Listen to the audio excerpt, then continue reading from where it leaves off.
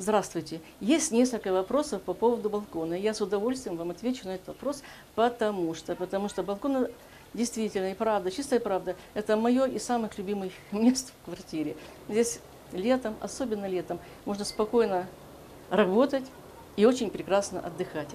Правда ли то, что на балконе у меня ничего не стоит – может быть, я так хитрю, да, все повыносила, повыносила. Нет, я ничего не выносила. Вот на балконе у меня постоянно что, прищепки. А, картину принесла сегодня, ну так, что приятнее было на меня смотреть.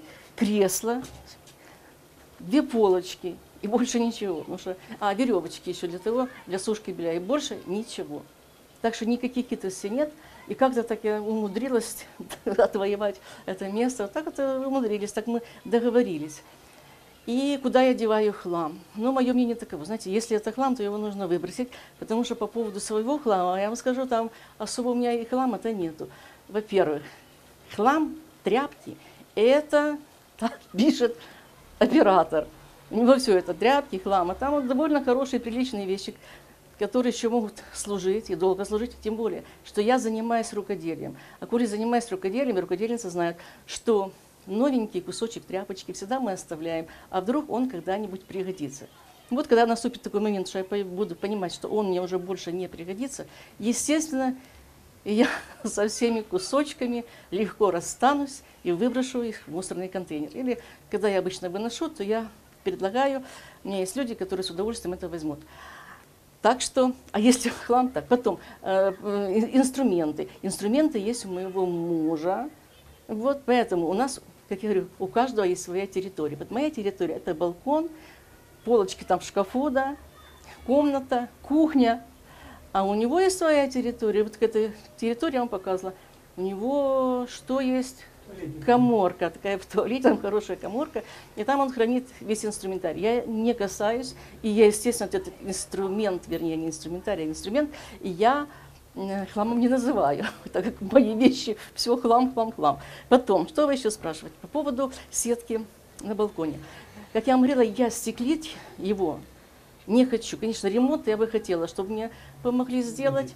Вот, обещает, обещает. Но мне даже нравится такая экзотика, кирпич, но мне нравится все это. Может быть, покрасить да, в белый цвет, что-то такое придумать, чтобы действительно было чисто. Хотя я обязательно ежедневно убираю, убираюсь. Но по поводу уборки у меня будет специальное видео, потому что очень много вопросов по поводу уборки. Так вот, в отношении сетки. Сетку я вам говорила, что я купила на рынке, и как бы я вот сейчас сделала, если бы мне кто-то помог.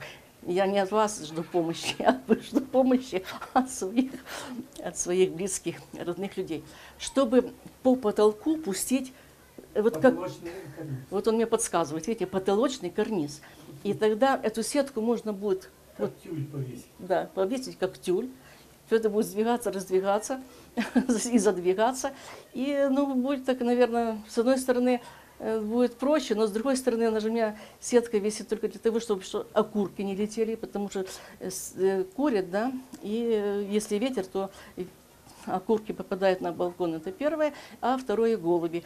Покажите, вот они, они все равно не уходят, даже за сеткой они ко мне приходят, сейчас потихонечку повернем, увидите, какие красавцы. Это, эти голуби прилетают к нам уже на протяжении подождите, лет 5-6, да, еще юганчик был живой. У меня была собака, хорошая собака была, я вся вспоминаю своего югана, чудесный пес.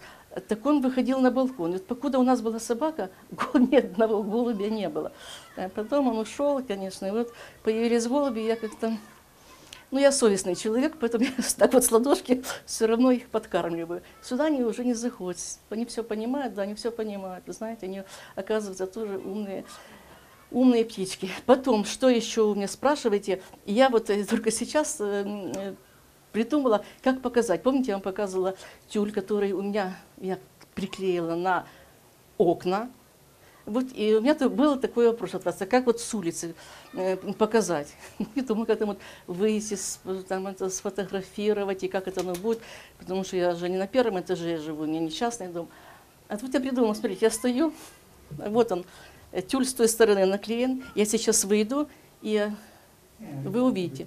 Нет, я хочу, чтобы ты показал, Ну да, чтобы было видно, как же с улицы смотрится тюль, потому что был такой вопрос, меня спрашивали. И я не знала, как показать. Оказывается, я сейчас смотрю, и я вижу, и вы сейчас увидите. А еще вы спрашивали, видно ли с улицы то, что там в квартире, если нет занавеси. Я сейчас зайду на кухню, закрою балконную дверь и оттуда вам помашу рукой. Интересно, вы меня увидите или нет? Я думаю, что нет.